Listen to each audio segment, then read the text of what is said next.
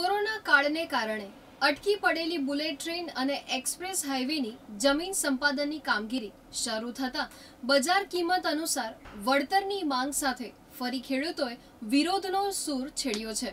આજે ગુજરાત ખેડૂત સમાજના નેજા હેઠળ નવસારીના અસરગ્રસ્ત ખેડૂતોએ બેઠક કરી આગળની રણનીતિ ઘડી હતી.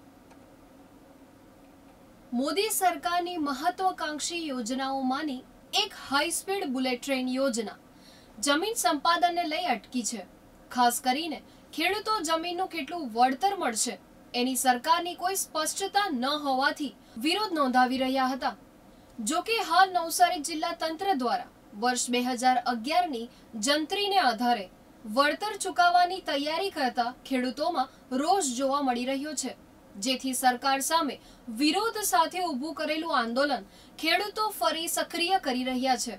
જેમાં ભારત અને ગુજરાત સરકારના જાહેર નિયમોને ધ્યાને રાખી અસરગ્રસ્તોને બજાર કિંમતનું ચાર ગણું વળતર મળે એની માંગ કરી રહ્યા છે. આજે નવસારીના અસરગ્રસ્ત ખેડૂતોએ બેઠક કરીને આંદોલનને વેગ આપવા સાથે કાયદાકીય લડાઈ લડવાની તૈયારી કરી છે. યશ પટેલ પ્રમુખ ખેડૂત સમાજ ગુજરાત.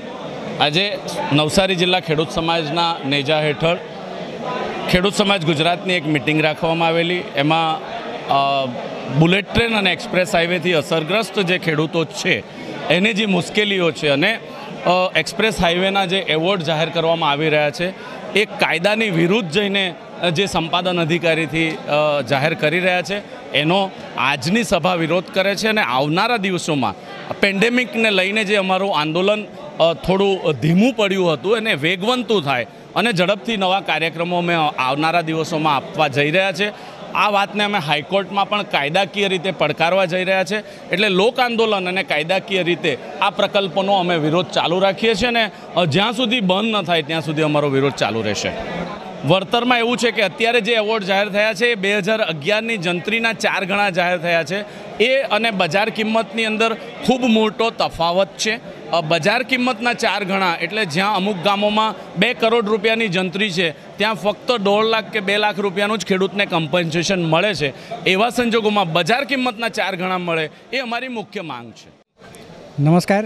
આજરોજ નવસારી તાલુકા બાગાયત મંડળી ગ્રીડ ઉપર નવસારી જિલ્લાના ખેડૂતોને માટે ગુજરાત ખેડૂત સમાજના પ્રમુખ, ગુજરાત ખેડૂત સમાજના ટ્રસ્ટી અને વકીલ આનંદભાઈ યાજ્ઞિક સાહેબ, દક્ષિણ ગુજરાતના દરેક જિલ્લાના પ્રમુખો અને નવસારીના વિવિધ આગેવાનો અને અસરગ્રસ્ત ખેડૂતોની આ એક અવેરનેસ માટેનો પ્રોગ્રામ રાખેલો હતો. કેમ કે સરકાર જે બે હજાર તેરના કાયદા પ્રમાણે નથી વર્તી રહેલા તો એ બાબતે સરકાર દ્વારા એક વિનમ્ર માંગણી કરીએ કે આ ખેડૂતોને જે કંઈક જમીન જવાની છે, એની સામે વાંધો નથી, પણ એના વળતરની સામે તો બે હજાર તેરના કાયદાને અનુસરીને એ કરે.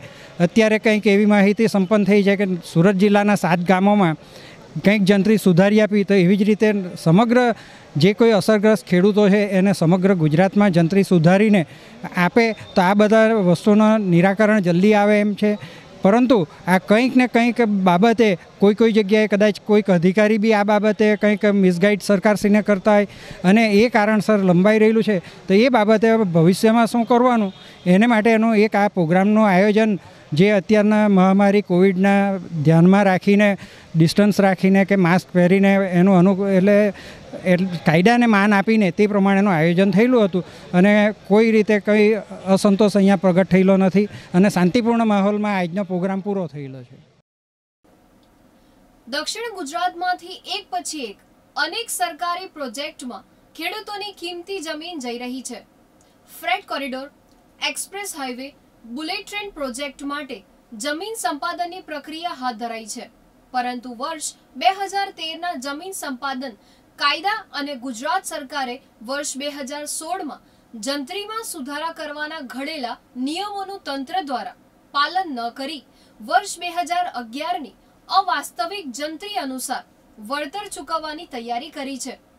સુરત જિલ્લાની સરખામણીમાં નવસારી જિલ્લાની જંત્રીમાં કોઈ સુધારો ન થતા ખેડૂતોમાં આક્રોશ જોવા મળી રહ્યો છે. જેથી ગુજરાત ખેડૂત સમાજના નેજા હેઠળ અસરગ્રસ્ત ખેડૂતો કાયદાકીય લડાઈ લડવા સાથે જ લોક આંદોલન છેડવાની રણનીતિ ઘડી રહ્યા છે. NDC news Navsari.